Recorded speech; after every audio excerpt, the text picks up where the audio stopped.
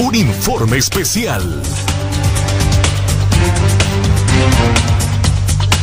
Mucha atención a este informe especial. Se reporta el hallazgo de un cuerpo flotando en el río, esto en el municipio de La Lima. Ernesto Alonso Rojas, con usted, adelante. Así es, abogado Pablo Gerardo Matamoros, televidente de HCH Televisión Digital en el municipio de La Lima, flotando en las aguas del río Chamelecón. Ha sido encontrado el cuerpo de una persona del sexo masculino, donde en este momento las patrullas de la Policía Nacional Preventiva y Cuerpo de Bomberos, al igual que Medicina Forense, hacen las respectivas labores de eh, levantamiento, sacando el cuerpo del mismo de las aguas del río eh, Chamelecón, Colonia Guadalupe, para luego ser trasladado hasta la morgue judicial.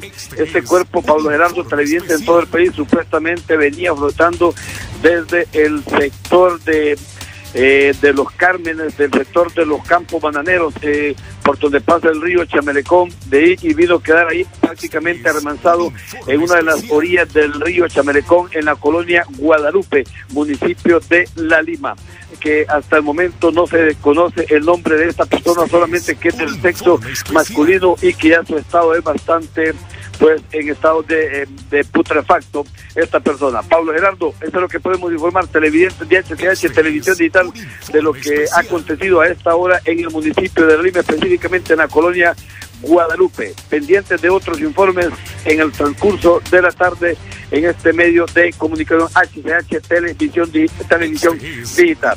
Desde San Pedro Sura, compañeros, Pablo Gerardo Matamoros, Gustavo Reyes, en los estudios a esta hora.